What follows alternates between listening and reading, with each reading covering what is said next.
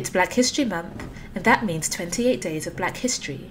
For day 26, we're meeting with a warrior king. Shaka Zulu was the king of the Zulu kingdom from 1816 to 1828. One of the most influential monarchs of the Zulu, he ordered wide reaching reforms that reorganized the military into a formidable force.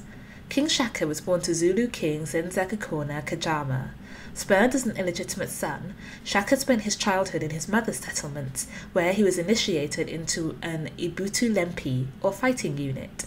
King Shaka's reign coincided with the start of the upheaval or crushing, a period of devastating warfare and chaos in southern Africa between 1815 and about 1840 that depopulated the region. His role in the crushing is highly controversial. He was ultimately assassinated by his half brothers, King Dingane and Prince Mhlangana. And that's day 26 of Black History Month.